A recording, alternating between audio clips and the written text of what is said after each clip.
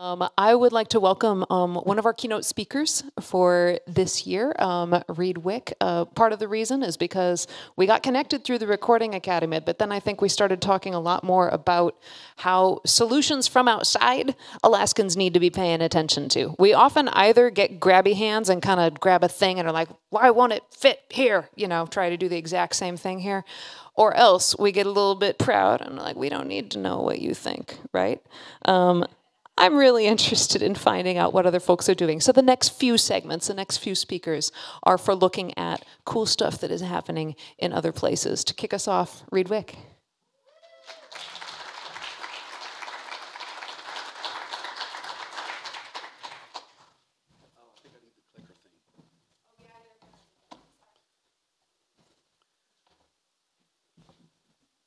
I guess it's the big button. The big button. I'm gonna set my timer because I know I can ran, ramble on, like Led Zeppelin would say. So uh, thank you for having me. It's my first time in Alaska too. This is an amazing place. So I got here on Tuesday and took in Girdwood, and I'm here for the weekend, and then heading with Marion and a few other folks down to Juneau on Monday. So I'm getting uh, not the whole tour, but a good tour. Um, but as was mentioned, um, I'm with the Recording Academy. I'm one of Timmy's uh, colleagues. I am based in New Orleans. Um, I'm part of a chapter that's based in Memphis that covers from St. Louis down to New, down to New Orleans, up and down the Mississippi River. And you may ask yourself, why would somebody from New Orleans uh, want to come up here and talk? Um, but you know, thinking about your theme, uh, obstacles to opportunities, that is exactly what we deal with every day. I mean, we in New Orleans, for those of us who are old enough, because some aren't, um, we have a pre Katrina life and a post Katrina life. Life is totally different after Katrina. So is our music community. And we've had a lot of obstacles, obstacles to overcome. Similarly, we all felt the, the COVID downfall. And in a city where tourism is our biggest industry and music is a big part of that, we actually were put out of work for a long time as well. I'm a full time musician as well as a full time uh, working. Working for the Recording Academy, and one of my areas of, uh, I guess, expertise, I hate saying that because I'm not an expert in anything, but is working in the public policy and economic development space. It's something that I've been very passionate about. And it really comes from many years of watching my elders across New Orleans with commissions and task force and everything else bitch and complain, talk about all these things that need to be fixed. But no one lifted a finger to actually do it, right? And I'm like, as I got older, and especially after Katrina, it made me realize okay, now I'm one of those somewhat elders, and it's my turn. And really, what I felt like um, is that we had to change the whole way we approach things. Approach things, I should say. So uh, let me get my thing going here. Oh, I passed it up. So these are the the areas that I really felt like we needed to change our attitude as a music community. Oh, it didn't change. Oh, I'm on the wrong thing. Sorry. There you go. Uh, we, we needed to decide to act and lead. So that kind of fell on me and some of my colleagues. Luckily, my, my bosses at the Recording Academy gave me the freedom to be able to, to take on some of this work. Um, one of the biggest things that I realized is that we needed to change the conversation, meaning that um, primarily for our purposes, we needed to change the conversation away from art and culture as much. And I know you're going to start throwing tomatoes at me for this, but but essentially, when you're talking with business leaders, um, elected leaders, what they understand is they understand jobs, they understand economic impact, they understand those kind of things, especially when I always felt like music was being wagged by the dog of tourism. And I've tried to flip that conversation around because we wouldn't have the tourism if we didn't have the music that comes from New Orleans, right? And people throw in food and architecture, those things too. But Really, music is what makes us special.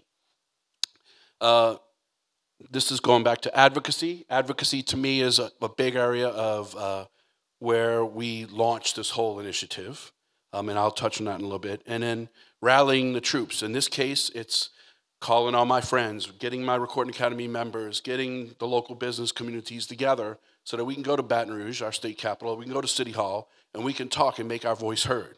And to me, that's the most important thing. I'm just going to buzz through these really quickly. But advocacy really is uh, is making yourself aware of what needs to be changed, and then being that conduit to actually uh, arm yourself with that knowledge and be able to talk to your business leaders, your legislators, whatever that might be, so that they have a, a really good understanding of it as well. Um, this is one of the things I like to tell my fellow musicians is that your voice is more powerful than the average citizen. For one, we have an audience, right?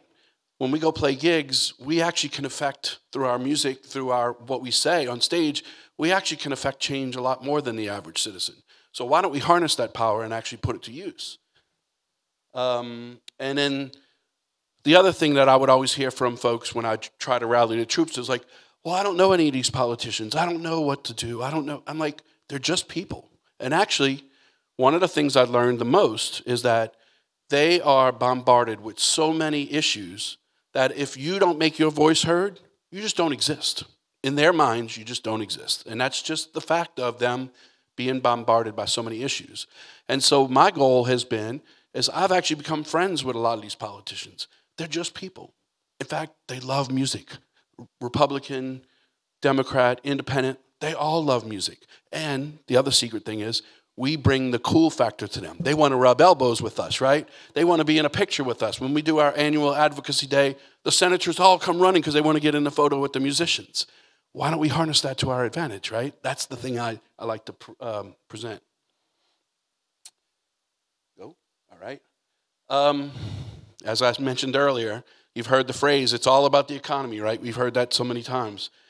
That's what the politicians understand in Louisiana, and, I'm going to go through this here in a second, but uh, they understand jobs. And if you play gigs, whether it's full time, part time, if you're earning some money from it, it's a job. If you're the front of house guy or girl at a show, if you're running the video, if you're managing the band, if you're whatever, the ecosystem that Marion referred to, every single one of those is a job. And if you're earning money at it, it's economic impact. How do you judge that? How do you how do you bring that together as information that you can then tell your politicians or business leaders or, or a banker or whoever it is, right?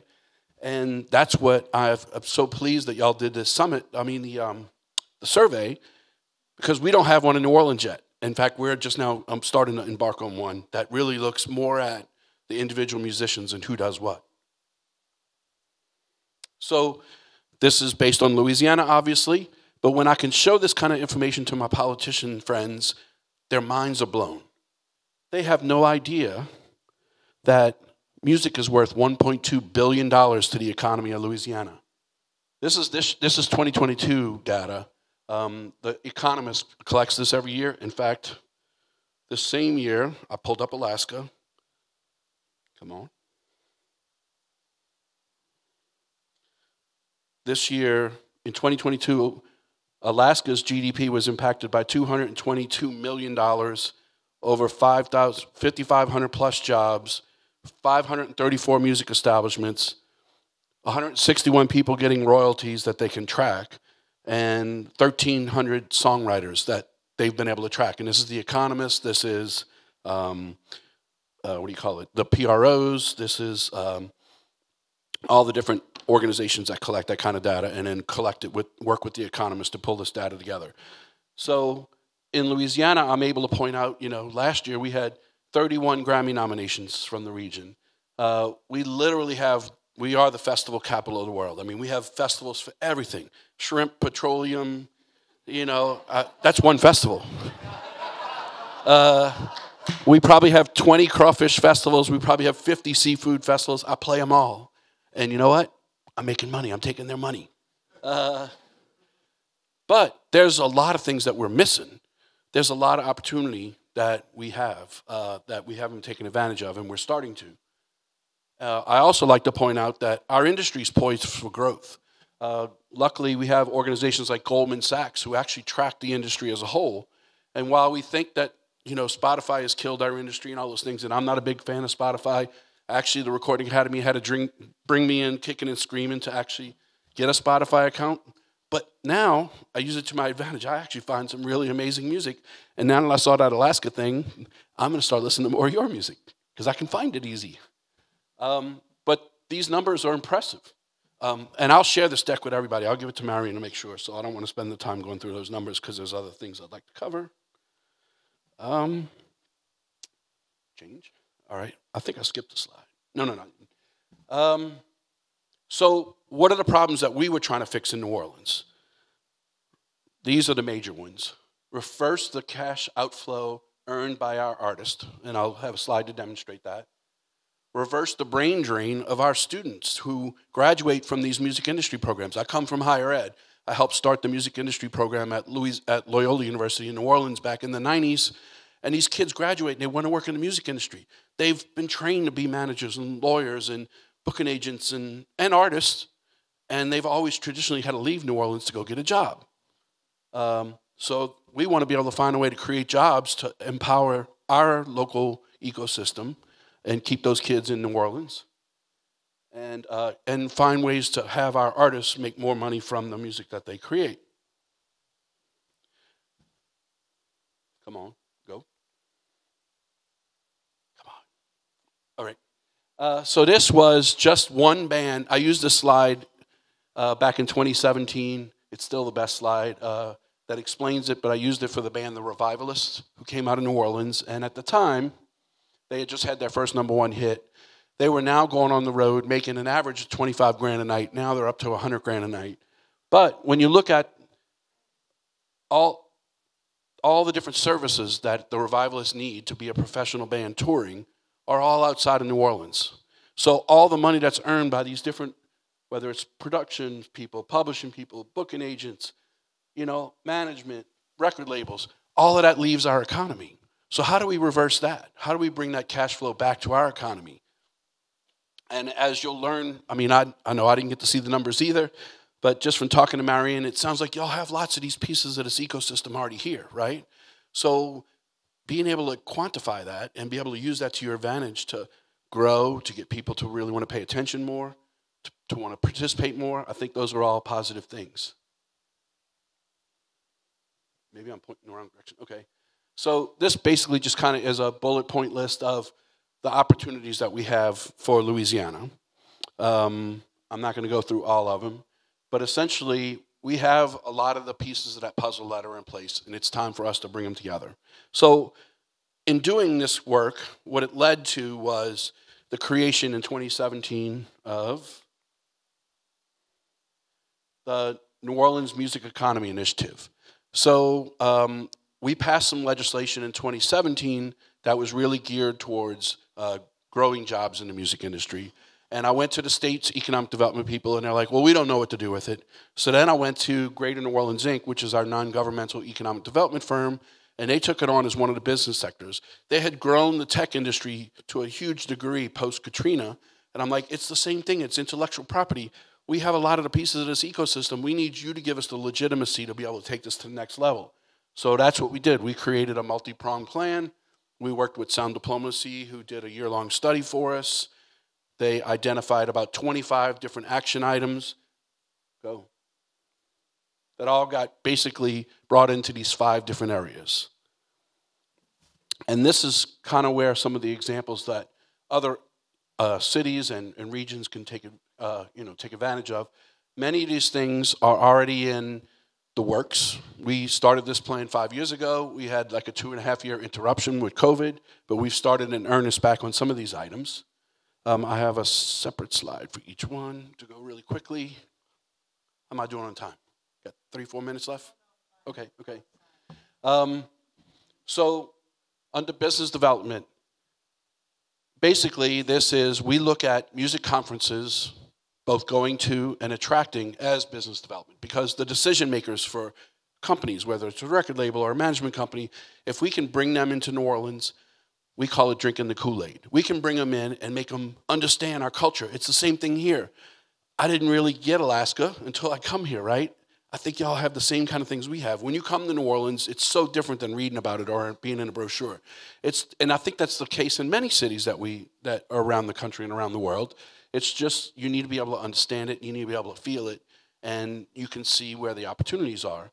Then we could talk about tax incentives, cost of living differentials, all these kind of things. So these are a number of things. Music Fete is a like a, a, fam- a fam tour kind of thing. When Jazz Fest happens, we invite a dozen or so of the executives that we know are in town, and we bring them to lunch. We bring them to studios. We show them that we do have that ecosystem here, and that we could use your company to be here too. You know, you have a management company, and you manage five of our artists. Why don't you open a shop here? We'll incentivize those those jobs you can sign 10 more bands from New Orleans and all of our business grows. You know, so those that's kind of the mindset. Uh, another thing that we just created this for, for, the first time this year is NOLA MusiCon. And for year one, we had 465 registrants from 22 states, as well as Canada and UK. And we're already working on year two.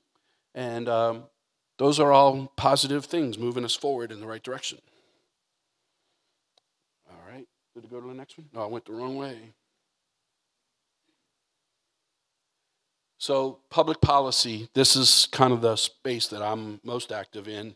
Um, we've been real successful the last few years of really building those relationships in Baton Rouge. In the past few years alone, we've been, we've passed these these laws. Some are economic development oriented. Some of them are just protecting um, our artists and their creations.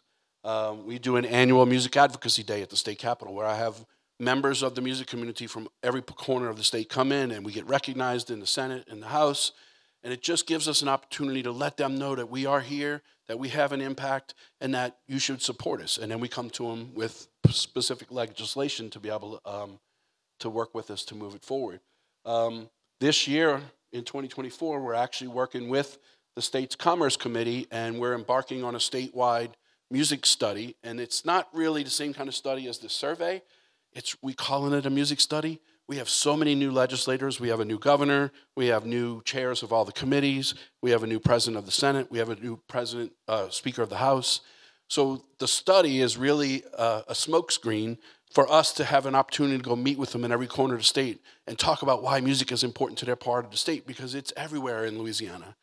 New Orleans is you know, the big fight is it's New Orleans against the rest of the state. But we always have to talk about how there is great music coming from every corner of the state.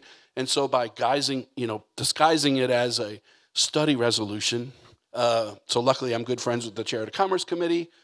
She bought into it, and we're uh, we just started that in October, and it's going to run through 2020.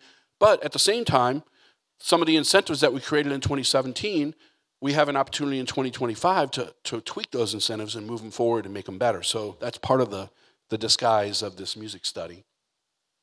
Um, some things that were part of the plan that have actually come to fruition. We now have a state level music officer. She started last year, uh, my friend Lacey Chatanier. And we now in New Orleans have a nighttime economy office. We have a, third, a three person office that looks at not only the music, but restaurants. Because in a city like New Orleans, so much of the economic activity happens after dark. So that's a real important one for us. Uh, try and wrap these up really quickly. Maximizing existing assets. I couldn't fit hardly any of this on this page, but everything from Mic'd Up is a program, we got a quarter million dollar grant from economic development at the state level to actually create this, incent, uh, this internship program. I call it an internship program on steroids, where a kid that's in a senior in college can get an internship with a management company or a booking agency, and they actually give them on the job training. And then that first year after they graduate, the grant pays for their salary for a year, and they build their network and they build their book of business, and they can either make a decision at the end of that full two year period of do I stay with this company? Do I start my own company? Do they help me get placed with another company? So these are the kind of things like it goes beyond what you can learn in the classroom, and it really helps these kids. And some of them are just amazing because we just graduated our first cohort last year. Second one just started this uh, this current school year, and uh, it's pretty amazing. Uh, other things, Music Trail, which is a year behind. It's Louisiana, but uh, the the lieutenant governor has declared 2024 as the, the year of music for Louisiana. He was supposed to unveil the uh, the Music Trail website on January 1st. It's January 13th and no sign of it yet, but that's Louisiana. Um, but I was fortunate to be part of a, a, year and a half planning process that actually helped identify the right spots all over the state, right? Um, this I threw on here last night because I didn't even think about it until we had our little meeting last night. But for the last three mayoral candidates races, we've actually hosted a mayoral candidates forum where we actually had all the candidates running for mayor for our past three mayors and we gave them questions strictly about music and what would you do to empower music to support it. And uh, it's, it's actually a great way to open their eyes to, wow, you know, there's some real stuff happening here. I need to be supportive of this. Uh, and this is one that's been really cool. There's more than this, but these are the two that I thought would be the most interesting. Is uh, we did a partnership, and I, miss, I didn't capitalize guild, uh, with the Guild of Music Supervisors and the New Orleans Film Festival. This was the year right before COVID, and we're going to reinstitute it next year. We couldn't get it done the last couple of years, but what we did was we had a, we worked with a couple of nonprofits, the New Orleans Jazz and Heritage Foundation and the Ella Project, who actually did like a four month course leading up to the film festival, and working with the guild and uh, Miles and I's mutual friend Jonathan McHugh, we brought in five music supervisors who were actually working on real world projects. Each five, each of the five gave us five projects, and we matched the ones who were looking for hip hop. We matched them with hip hop artists. If they were looking for soundtracky kind of music, we'd put them with some classical people. If they were looking for R&B, we and 75 of our musicians were able to pitch their music on the weekend of the film festival, and 12 oh, 12 that's that's my two minute warning. Uh, 12 of them got got actual real, I mean, a couple of them got real placements. 12 of them got really sniffed out pretty well. The byproduct is all of those music supervisors left saying, wow, I didn't realize New Orleans had all this different kinds of music, you know, because they think of us as like trad jazz, like some old museum piece, right? Um, another one that just happened this past October was we host, we co, uh, co-hosted and the Grammys were part of it, uh, put together through our songwriters and composers wing, a first ever New Orleans songwriting camp. And we brought some of the best songwriters from around the region to mix, mix them with our songwriters. And they wrote 40 songs in five days. And one of the songs is in the color purple. So they had they brought in some music uh, supervisors and A&R folks who were looking for music right there on the spot. And uh, one of them is is in that movie that just got that just came out, the remake, and it's uh, pretty amazing to see marketing, this is the biggest thing that we've always needed because getting the powers that be to take music seriously and that we should be marketing it has been one of my pet peeves. Elizabeth, who you'll hear from in a minute, and I both have degrees in public relations, and it like drives me crazy when we have this amazing set of resources or whatever right under our nose, and the powers that be don't take care of it. So we've done a whole bunch in this space. Uh, we've we came up with a slogan for our initiative. We had the city declare October New Orleans Music Month. Um, that led to Billboard magazine. After five years of trying to get Billboard to write about New Orleans, they finally did in April of 2023. They did a multi-page spread on New Orleans and our growing music economy, um, and some of the other things. One of the things that we're we're doing during the Grammys, uh, the day two days before the Grammys is when we're in Los Angeles, is we're having an alumni reception with young alums who went to Loyola, Tulane, Xavier, Dillard, who live out in LA and work in the music industry, and we're going to empower them to be our ambassadors, so that when they hear of a company that's looking to expand and they're thinking about Atlanta or Houston, like, what about New Orleans? You know, so those are some of the things that we're really trying to push. And my final slide this is the toughest one because building physical infrastructure, which is really important, is the toughest nut to crack um, because this really takes investment, it takes developers, but we've seen some progress. Um, one of the biggest things that we've always wanted to have is a true music hub. There are some great examples of them all over the country all over the world. Tileyard in London is the, probably the most amazing one, where there are recording studios and writing rooms and office buildings and all these things where the entire music ecosystem can be represented. And what happens in those kind of situations is what we call creative collisions, where this songwriter runs into this A&R person that, and talks to this manager, and next thing you know, they're working together on a project, right? And, and Marion talked about, you could be doing that here, right? This is kind of a hub right here. You know, we're in it. Y'all are here. That's what's really cool, right? We have new recording studios that op- opened in the last five years. There's two in the works right now. Uh, the, we actually have two record presses in New Orleans, believe it or not. One of them, the New Orleans Record Press, has just expanded, bought two more presses from the Memphis mu- Music Press, I mean, Record Press. Um, but they're having lots of issues with getting the materials to make the vinyl. So we have a team of people that's working on how can we shorten that uh, or alleviate that um, supply chain issue. Um, we're, we have a major music museum, believe it or not, New Orleans, which a lot of, oh, I'm not going to say it, but New Orleans has had, you know, a huge impact on American music, and we don't have any museums in New Orleans that really are dedicated to our music. So there's a major project in the works there. Um, and in my friends, I just had lunch with this guy about a month ago, and he told me about this project. So we have a regional backline company that works in several cities across the South, and they're in the process of moving into a new building where they can build in, out some high-end rehearsal studios, which is something we desperately need in New Orleans. And they have the equipment that kind of, you know, if such and such bands coming through, they can come and rent the place. They have access to all the stuff. So I just wanted to give y'all like a snapshot of some of the things that we're doing in New Orleans. Uh, Marion was like, I really want, you know, don't tell us what to do. Show us some of the things y'all are doing, and maybe we can walk away with some ideas. Um, so hopefully there are some ideas. I'm around the rest of the day. I'm doing one of the office hours tomorrow. I think I'm overtime, but thank y'all so much.